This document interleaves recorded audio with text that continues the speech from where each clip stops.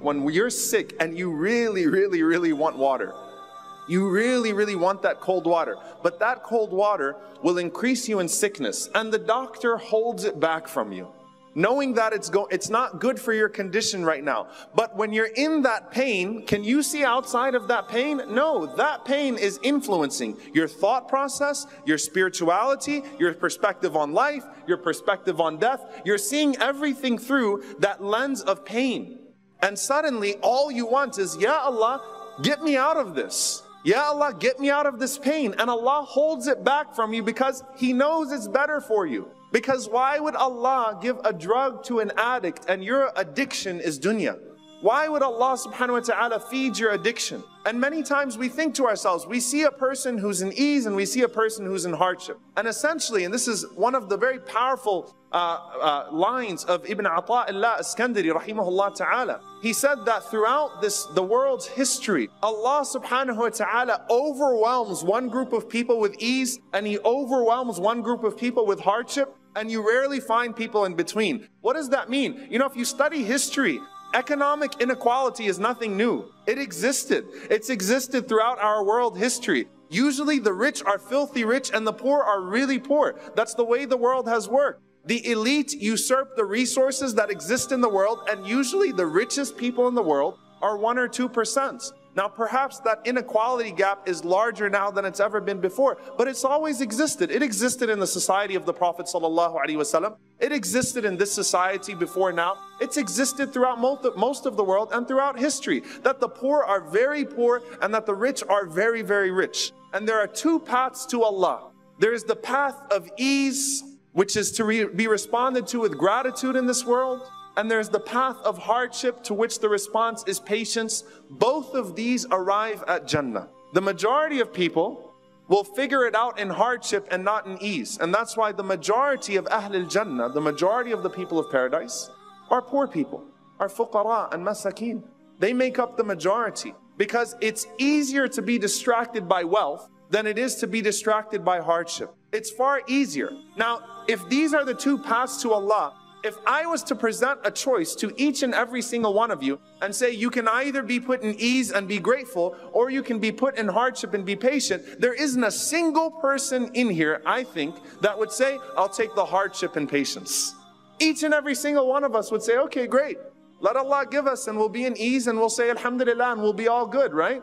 That's how each and every single one of us would naturally respond and we will protest our case to Allah. Ya Allah, get me out of this hardship and I will be grateful. But Allah knows what will happen to you. Allah knows what will happen to your personality. Allah knows that if this dunya is given to you, it will distance you. And Allah holds it back. And never equate your situation with your status. Surah Al-Kahf. Allah punished a man by giving him an extra garden. Allah loved a couple, so he took away their child. Think about that. If you're that couple and if you're that man whose gardens are increasing, and that couple who just lost a child, and Allah subhanahu wa ta'ala loves that couple, and this person is only further entrenching himself in disobedience and in disregard and ruining himself in the hereafter. But I want to throw something at you guys, inshallah ta'ala, with my last few minutes.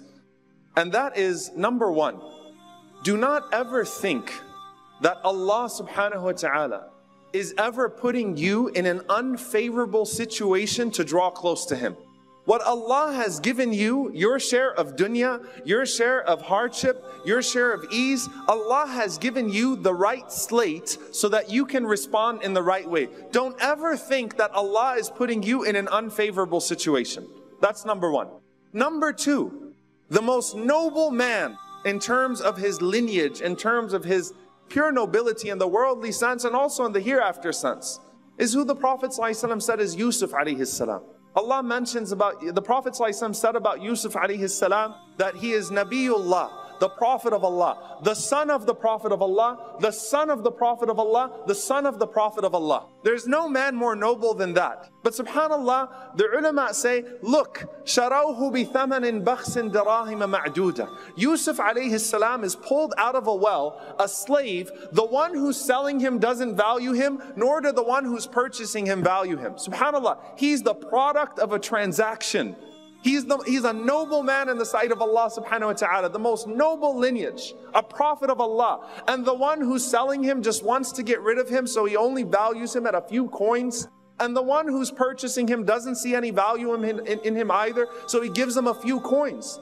Yusuf is completely considered devalued in the worldly sense while still maintaining great nobility in the sight of Allah because this world and everything that is an indicator in this world is worthless to Allah. It is of absolutely no value to Allah.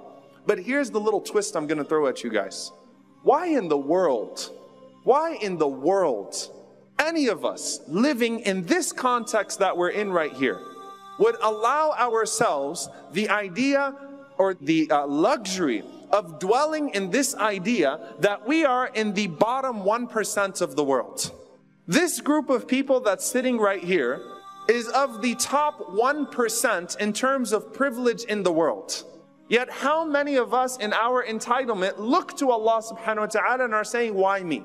Privileged in regards to our safety and security, privileged in regards to our wealth, because, you know, just think about where we are right now and what situation we're in. Why do we always assume underdog status when we're talking about hardship and ease? Why?